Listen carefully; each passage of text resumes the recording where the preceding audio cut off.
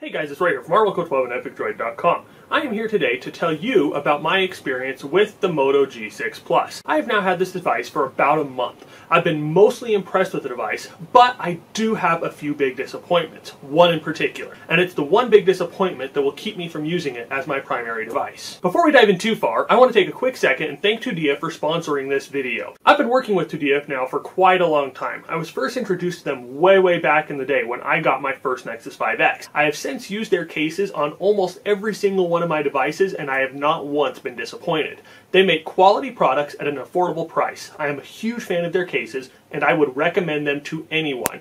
We will have links in the video description down below where you can check out their cases for the Moto G6 Plus. Now let's talk about specs. The Moto G6 Plus is the bigger version of the Moto G6. But it's not just bigger. In a lot of ways, it is also better. The Moto G6 Plus comes with a fancy looking glass body all around an aluminum frame. The display is a 5.9 inch IPS LCD display with a resolution of 1080 by 2160 and an 18 by 9 aspect ratio. It ships with a Qualcomm Snapdragon 630 octa-core processor that clocks in at speeds of up to 2.2 gigahertz. For storage and memory, there are two different configurations. You can get it with either 4 gigs of memory and 64 gigs of storage, or you can get it with 6 gigs of memory and 128 gigs of storage. And then if that's not enough storage space for you, both configurations also offer SD card support. Typically when I do these reviews, I like to go over the things that I like before I get into the dislikes. However, in this case, I'm going to be mixing it up just a little bit, and for good reason.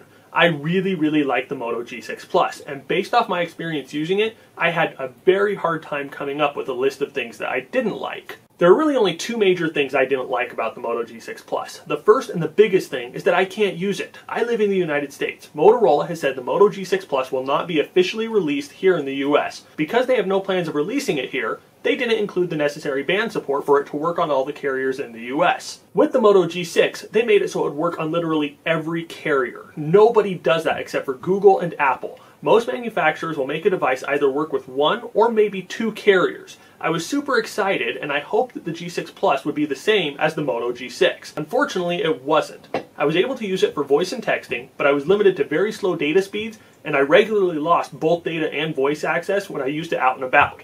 I really like the G6 Plus, and I would be willing to use it more if it came with the band support that I needed. Beyond that, my only other real complaint was the camera bump. The camera bump on the G6 bothered me, but it seems to me that the G6 Plus's bump is a bit bigger and it feels a lot more awkward when I'm using it. Not to mention that weird configuration kind of looks like a screaming, creepy face of some sort. As far as the things I liked about the phone, there was a lot. I loved the screen size, I loved the call quality, I loved the responsiveness and the mostly stock Android, with the few enhancements that Motorola snuck in to make the device even better.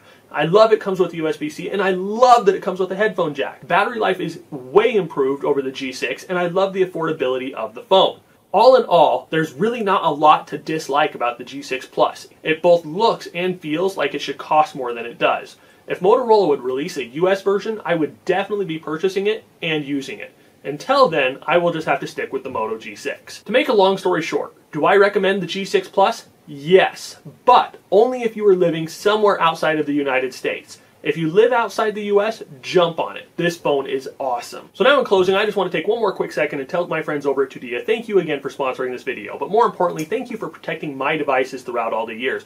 I've loved Tudia cases and I've loved the way that they protect my devices and that they've given me the peace of mind that I need when I am using them to ensure that they are going to last for the life of the device. So if you guys have any questions about the Moto G6 Plus, please feel free to hit us up in the comments section down below and reply to your comments as soon as we are available. If you've enjoyed this video, please remember to give us a thumbs up and to share it with your friends. And as always, I just want to take a quick second to tell you all thank you for watching, thank you for all your support, and you all have an awesome day.